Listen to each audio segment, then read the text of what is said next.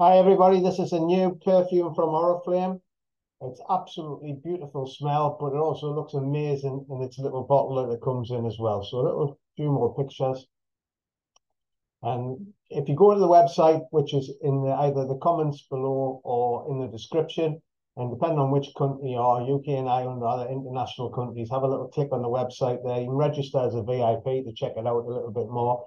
But this is a little bit more about the perfume. You can have a little read of that.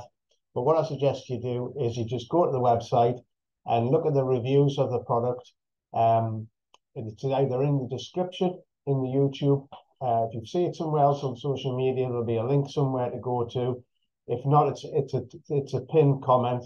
So there's a UK and Ireland website, and then below that is a link to international ones. You can register as a VIP for free. You get free samples with your order.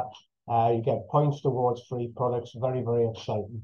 Uh, so look forward to sharing more videos. At the end here, there's some more little videos of other products you want if you want to click through to them. So thanks for watching. Make sure you give it a like. Any questions, put it below. Have a great day.